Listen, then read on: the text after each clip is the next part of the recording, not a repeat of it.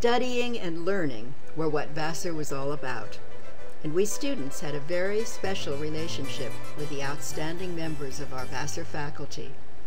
Unlike some colleges, Vassar's was a teaching faculty. Our professors not only taught classes, they were always available to us outside of class as well. And in many cases, they became not only our advisors and mentors, but also our friends. How did we feel about them? And who were the teachers who influenced us most? What were some of the greatest and most memorable courses we took?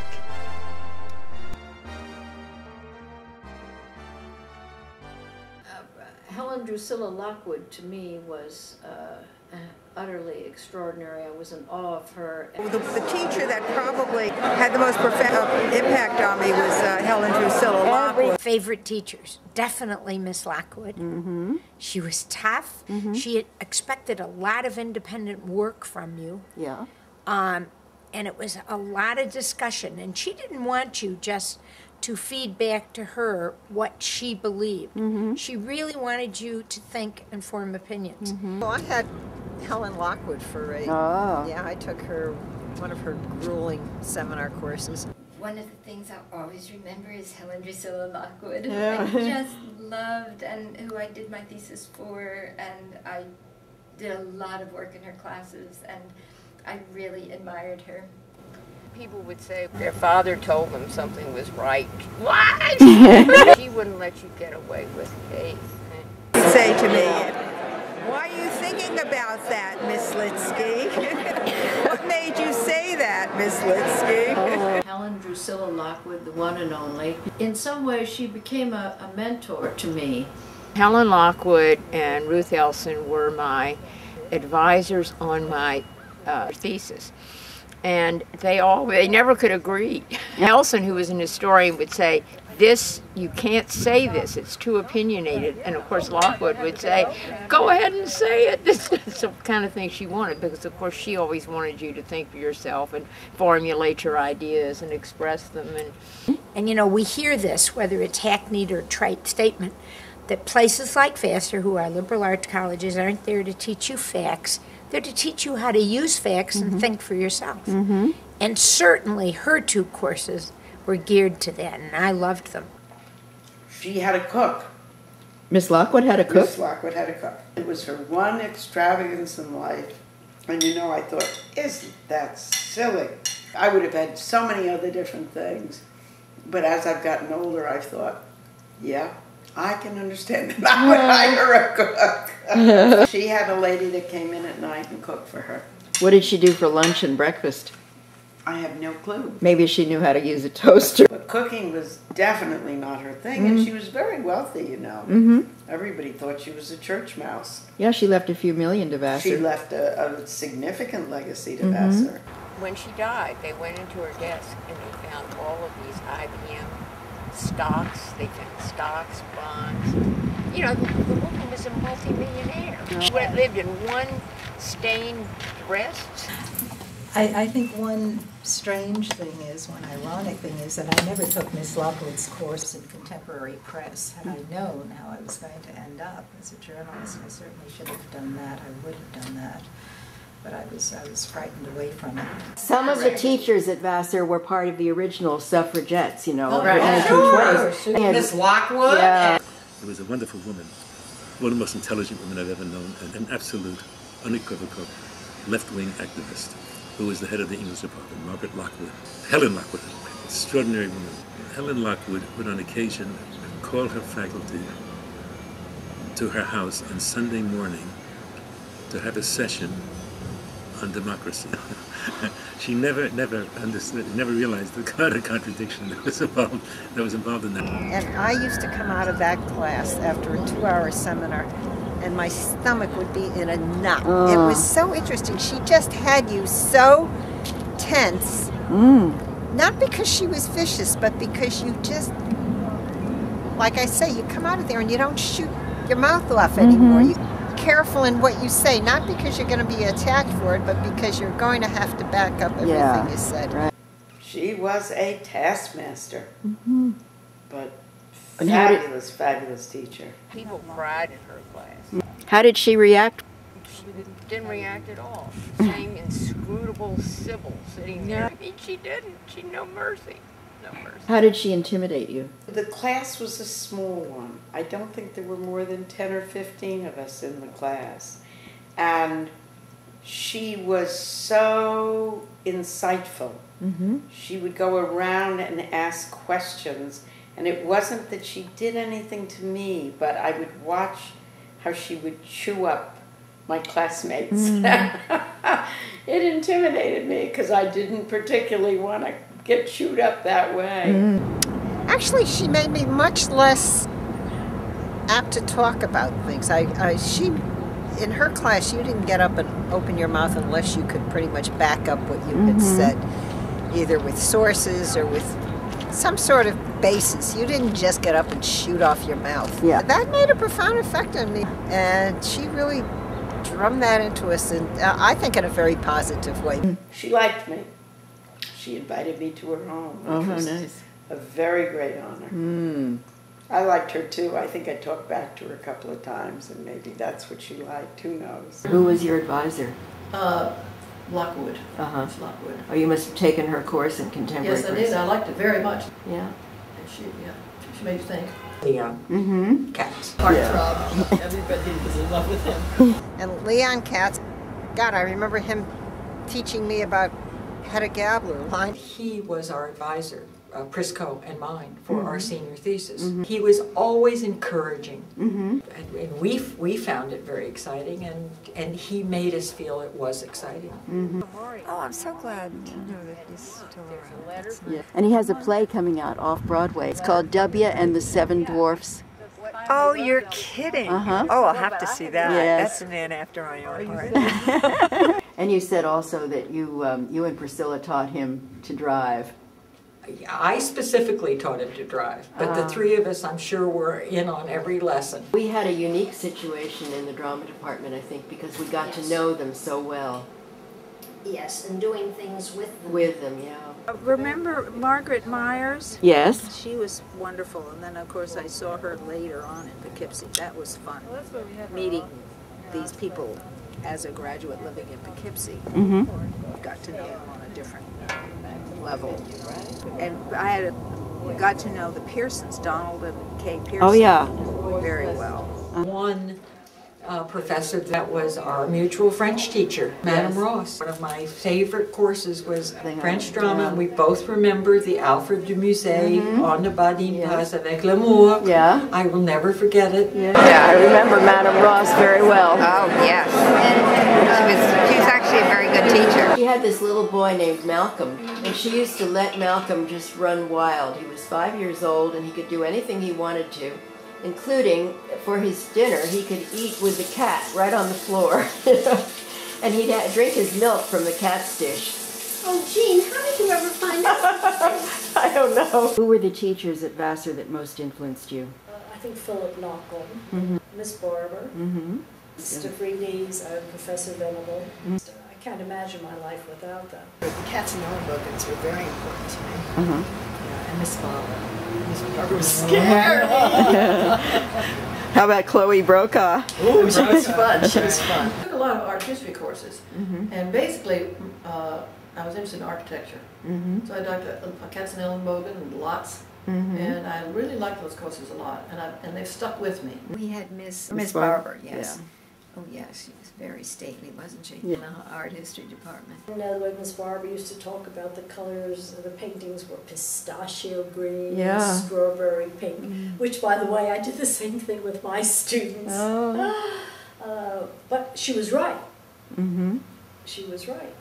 I found the faculty extraordinary from the beginning, and I cannot tell you how much I owe to the art department. Although, you know, uh, again, at the time, they all seemed in their various ways um, peculiar or something that one could um, ma- make fun of in a way. Like Miss Barber and Miss Brokaw. Well, absolutely. I mean, um, Miss Barber was certainly the target of all our imitations. Yes. You know, absolutely like that. And uh, as for Miss Brokaw, she would insist that we would go swimming with her as well. Mm. Uh, they taught me, or taught me to see, or taught me a kind of uh, differentiation and honesty of seeing that has served me for whatever I may have done since. Betty Daniels was always, she was very intimidating to me. She was so brilliant. Uh-huh. she was so forthright. Uh-huh. She's the kind of teacher that even though you never had her as a teacher, you never forget her. she was with her so intellectually challenging. Miss Timm, Miss Appenzeller, and Miss Mosscrop, Alfreda Mosscrop. You remember Miss, I call her Miss Mosecrap. Moss crop, moss crop, moss crop. Yeah, we called her mouse crap. I remember that one. Mr. Bartlett had these very socialistic ideas about socialized medicine. Barbara Cohen Crane and I, whose fathers were in the medical profession, were vehemently opposed to socialized medicine. And we got into a big argument with Mr. Bartlett. And it was only years later when I was living in Belgium where there was a socialized medical system where I realized that this was not so bad. And I decided to write Mr. Bartlett. And I said, Dear Professor Bartlett, this is a belated love letter of sorts. I want to tell you that you were right. And I tried to conjure up this, this old discussion we had had many years earlier. He was very sweet. He wrote me back. I enjoyed studying with uh, Professor Carl Degler. He inspired me. I lived in Lathrop, and our faculty families um, added a lot. They sure did. Uh, and we do have faculty on our campus where many places do not at all. I think our faculty, the fact that they did get, devote so much time to us and had time outside of the classroom meant a lot to us. Yes. That, God. yeah. I did have a lot, some courses that, uh, I remember I took a geology course in order to avoid a math course, and I loved it, and that that stuck with me too. Dr. Mhm. Watson was delightful, Mhm. and uh, we had a good time, and I, I can still, I, you know, remember some of the things, and it enhances what I look at as a result. I just remember uh, my art classes and my music classes. Professor Barber and Claflin were probably two of the best uh, teachers I've ever had. Did you take Art 105? Yeah. Yeah, I did too. And that was hard too. I've told Henri, who taught art history, I said, you know, the way we studied it at Vassar was so boring because we had to memorize all these slides. He said, that's the only way to do it. And that's why you know art history. And art, I have uh, been, ever since Art 105, so enamored of the visual arts that I have just learned a lot. My mom and dad said, well, you have to take at least some music and art, or you aren't, uh, you can't say you've gone to a liberal arts college and you aren't prepared for the world. And now we're very, very interested in art and, and involved with Arts and Science Museum. So, I, you know, it's all dovetailed and been put together. It was Susan Duckworth. She was in the chemistry department, but she was neat and we had a lot of fun with her. Hmm. We used to get her to drive us into New York to go to the City Center Ballet. She was, she was really, really game Ah. A very nice, friendly sort. I loved languages and I started studying Russian my sophomore year and very quickly became enamored of it. It was a tiny department, wonderful Ekaterina Volkonskaya, uh, who who will all remember. Two other professors I remember very clearly. One was C. Gordon Post. I- He made an enormous impression. And the other one was Rudolph Kempton. And I had Mr. Post. Oh, he was wonderful. he was wonderful. And Mr. Post was somebody I did really appreciate, taught me constitutional law. And the interesting thing about him is 20 years later, when I applied to Syracuse University, I called him and asked him to write a recommendation, and he was so wonderful. He and Mr. Bartlett, who had been my freshman English teacher. I had Mr. Post for, I had administration of justice. I had, he taught a lot of the, the political science 101 courses. Mhm. This monster, majestic gentleman standing there in front of all these little college freshmen. He was, Yeah, six foot six. Uh, yeah, and with his baritone voice. Yes. Yeah, no, he was very impressive. Did you ever guy. see him act? Yes, I remember him in the Crucible. Uh huh. He was wonderful. I thought they were extraordinary individuals, especially the women, wonderful role models Mhm. for us. Miss Barber. Mm-hmm. and, Chloe uh, Brokaw. Yeah, Miss Brokaw. Still very days. I mean, she had studied with, with Heidegger, I think. But Mrs. Venable was wonderful. Yeah. And I had her husband also in philosophy. and Uh-huh. I loved him. I mean, the, the faculty at Vassar, they, They were- really were, amazing. they- I think that the faculty that I became friendly with, uh, who I saw, really couldn't have been finer. We really lived with the faculties. And we had tea every afternoon and really had mostly professors there. But what always amazed me was how a teacher can stimulate and ask you questions according to your intellectual ability. Uh huh. You know, and, and try to challenge you to reach and, and to go farther than you think you can intellectually, Yes. but not be over your head. Mm-hmm. I, I just thought that was astounding to be a teacher at a college level, Mhm. you know, and be able to do that. Yes. Just extraordinary. And I guess you appreciate that more and more. I, Agnes Rindge Claflin, Mrs. Claflin, was she more than anyone in the United States, and therefore Vassar more than any other uh, college, university, academic setting in the United States, imaginative and determined in bringing out the, the great art historical uh, minds, uh, refugees from Germany. Adolf Katzenellenbogen, who we all remember that she brought. She brought Richard Krautheimer, who was, and Professor Lotz. Vassar was the place where the great stars of uh, uh, art history came before they were integrated into scholarly life. Panos- Erwin Panofsky was also uh, very much with us at Vassar. and we, uh, to, we gave a festival, a medieval and Renaissance festival, in his honor at Vassar.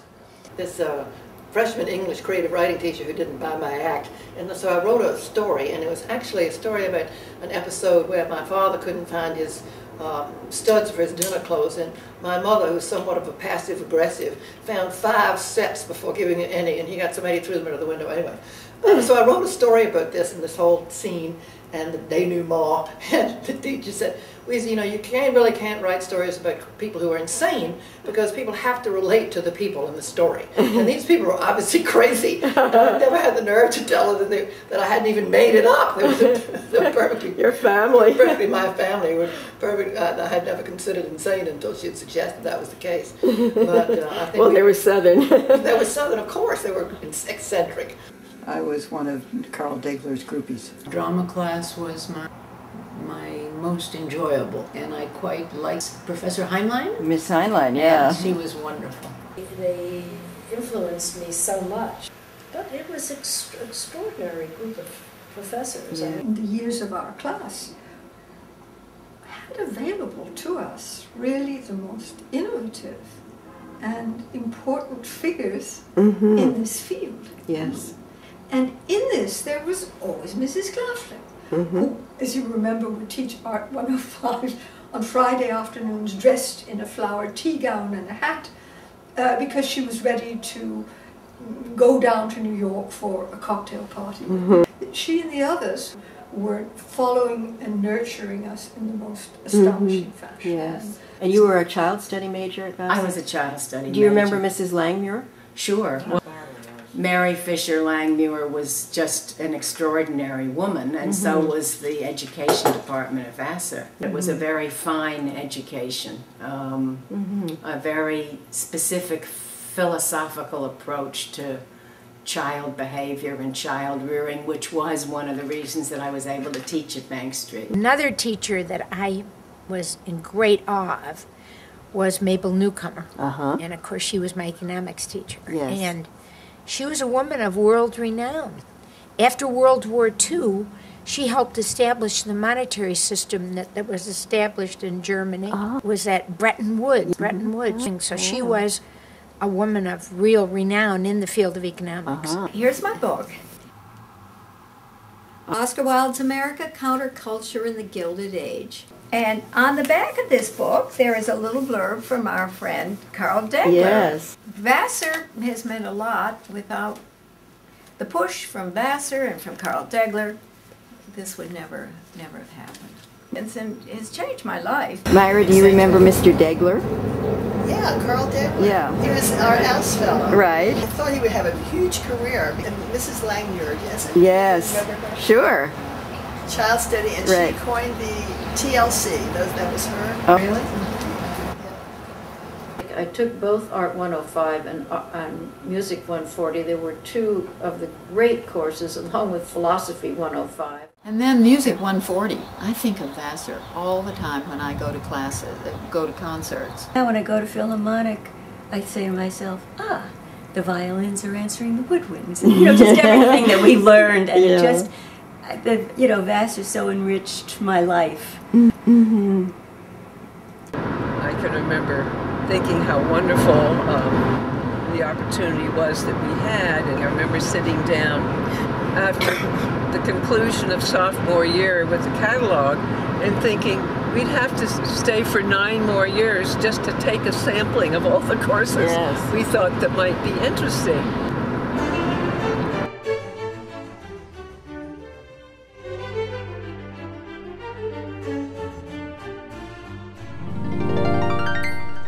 We caught up with two of our old Vassar professors, Leon Katz and Lina Manca.